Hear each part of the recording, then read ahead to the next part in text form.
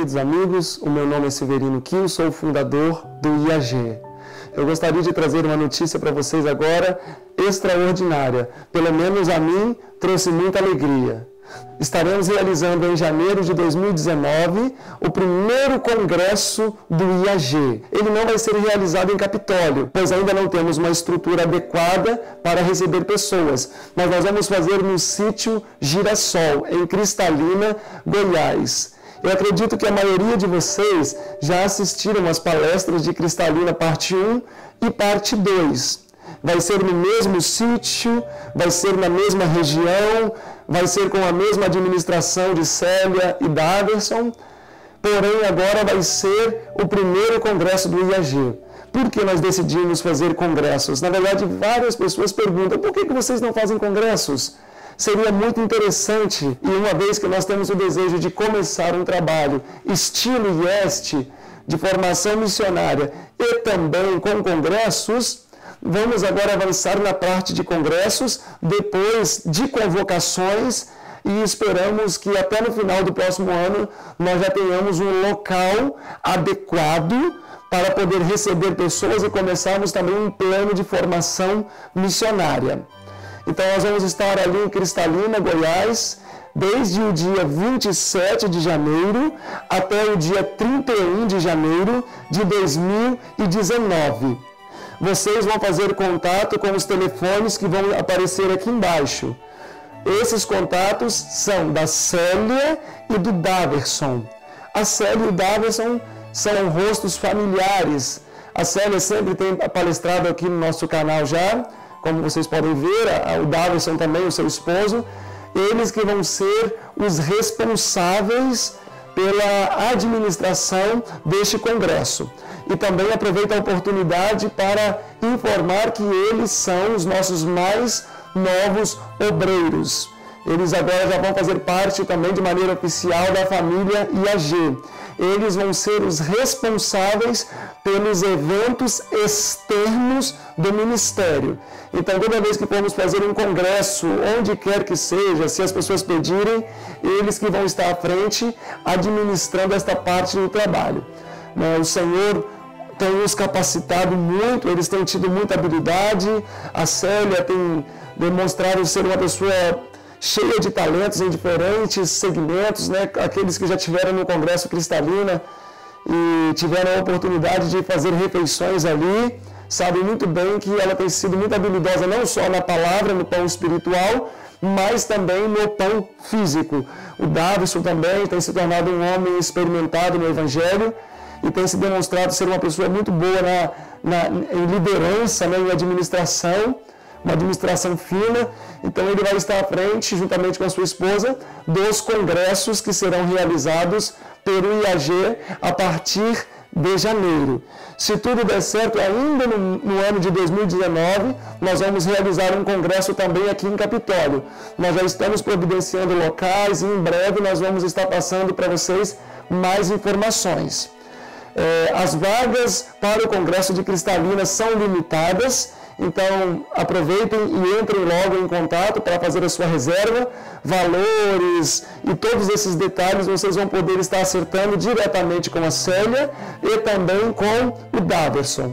Então, nós estendemos aqui boa, as boas-vindas à Célia e o Daverson ao nosso ministério, ao IAG, que vocês possam ser muito felizes e completos, fazendo parte desta família que cada vez tem crescido mais. E por falar em família crescendo, eu gostaria também de apresentar o meu querido amigo Moses. Ele é um jovem de 21 anos de idade, eu já o conheço desde criança e tem despontado sinais assim muito fortes de consagração para o ministério. E vimos então Deus dirigindo as coisas para que ele pudesse se unir à nossa equipe do IAG que está no Chile, que seria a Poliana, que é a irmã dele, e o Clarence, esposo da Poliana, cunhado do Moses.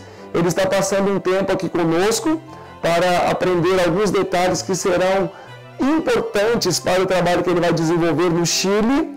E eu gostaria agora que ele falasse um pouquinho da sua vida para nós, como que surgiu o desejo no seu coração de avançar como missionário, sendo ainda tão jovem, trocar uma carreira de sucesso no mundo para poder ser um missionário e levar a cruz de Cristo. Olá, meu nome é Moses Coutinho, eu sou natural de Cariacica, no Espírito Santo, a mesma cidade que o meu amigo Silverino. E desde pequenos, meus pais já me incentivavam, a mim e a meus irmãos, a buscar uma vida mais próxima de Deus, uma vida mais distante das influências que esse mundo tem sobre os jovens hoje em dia.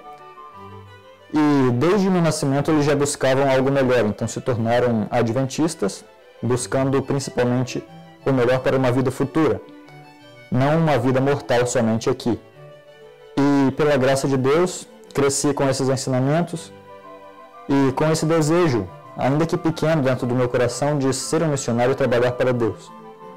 Quando eu fui crescendo, algumas coisas acabaram desviando a minha atenção, porém, pela graça de Deus, eu cheguei a uma instituição missionária.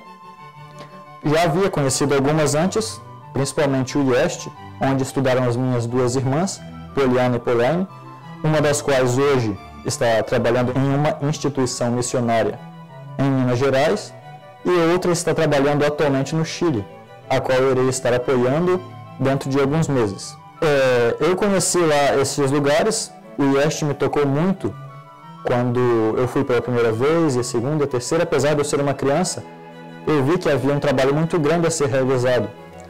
E pela graça de Deus, quando eu tinha 18 anos de idade, comecei a participar eu mesmo de um ministério, uma instituição A Promessa, a qual eu sou muito grato, tanto às pessoas que ali estiveram, como ao Senhor por me haver levado a este lugar. Tive experiências únicas, experiências de fé, aprendi a confiar mais plenamente em Deus. E depois de quase três anos neste lugar, o Senhor me moveu para ir um pouco além e estar apoiando a sua obra de outra maneira em outro lugar. É uma linda história que não irei contar agora, mas futuramente talvez vocês possam conhecer. Mas resumindo, conheci o EG e pela graça de Deus pude vir para cá hoje. Estou apoiando esse ministério e minha intenção é aprender agora, o máximo possível nesses, nesse período de tempo que aqui vou estar, para poder estar apoiando a instituição no Chile. Lá vou estar trabalhando principalmente na área de multimídia, produzindo livros, fazendo diagramação e também produzindo vídeos para o nosso canal, porque queremos, assim como aqui, desenvolver o trabalho literário e também o trabalho audiovisual. Pela graça de Deus, espero poder chegar lá e desenvolver esse trabalho com o mesmo sucesso que se tem feito aqui. Muitas pessoas me questionam, e talvez para si mesmas, por que eu ou algum outro jovem pode escolher essa vida e deixar de lado alguma carreira, alguma maneira de conseguir dinheiro, uma maneira de viver para si. Bem, isso é algo que talvez não possamos explicar totalmente com palavras, porque quando aceitamos a operação do Espírito Santo em nossa vida, experimentamos uma experiência única. Porém, vendo a vida de Cristo e a vida daqueles que se entregaram por Ele, vemos uma vida de total abnegação, cuidando do seu próximo, que está em necessidade, tanto física como espiritual ou material, e essas lições todas aprendi muito no meu período no Instituto A Promessa. Aprendi ali lições de abnegação, lições de serviço, responsabilidade e perfeição em tudo que for realizado. Foi para mim uma experiência única, através de agricultura, trabalhos manuais e outros trabalhos, e até mesmo também da obra médico-missionária que ali é realizada, aprendi então a exercer o serviço em prol da humanidade. E agora Deus me deu a oportunidade de estar aqui trabalhando com o IAG e sou muito grato a Deus e a todas as pessoas que me apoiaram durante essa caminhada, a todos os irmãos do Instituto A Promessa, estendo um grande agradecimento e sei que o trabalho que lá é realizado é de grande bênção, não só para mim, mas para a vida de todo jovem que ali tem passado e que ainda irá passar por ali. E desejo que Deus abençoe muito esse instituto e todos os outros institutos que trabalham com esse fim. A preparação de jovens e adultos e todos os que ali passam para trabalhar para Deus, entregando-se sem reservas ao seu serviço. Quando uma pessoa mais velha, madura, toma uma decisão ao lado de Cristo, não surpreende tanto as pessoas, pois todos esperam isso. Mas quando um jovem que tem todo um futuro pela frente, é, é, é tem todos os prazeres que o mundo oferece, decide abnegar-se de tudo isto para fazer a vontade de Deus, é um testemunho que fala muito forte. Não só fala, mas grita. Então, que outros jovens também possam seguir o exemplo do nosso querido irmão Moses, que tão jovem, ele decidiu ir para uma instituição com 18 anos de idade, ainda né, saindo ali da, da, da, da adolescência. E quantos jovens nesta idade, na verdade, estão se lançando no mundo, né? Então, queremos parabenizar o trabalho da promessa também. Muitos jovens têm sido transformados e têm sido preparados com o espírito de muita abnegação e muito trabalho para a causa do Mestre. E realmente têm saído desta instituição pessoas que estão prontas para servir. E para quem não conhece o Instituto da Promessa, é só vocês olharem um rostinho que é bem familiar e que vocês gostam muito, os vídeos da Dani. Ali é a promessa. É naquele local ali que Moses viveu durante alguns anos. Que Deus possa derramar muitas bênçãos sobre essa instituição, a promessa, e que o Espírito Santo possa continuar acompanhando Moses por onde quer que ele for. Agradecemos a vocês também por prestigiar o nosso trabalho e desde já, aproveitando para fazer referência ao que eu iniciei falando sobre o primeiro congresso, façam um contato, pois as vagas são limitadas. Entrem em contato com o Davison e a Célia. E agradecemos pelo carinho e por tudo que vocês têm feito por nós. Em nome da equipe AG, eu agradeço a todos vocês.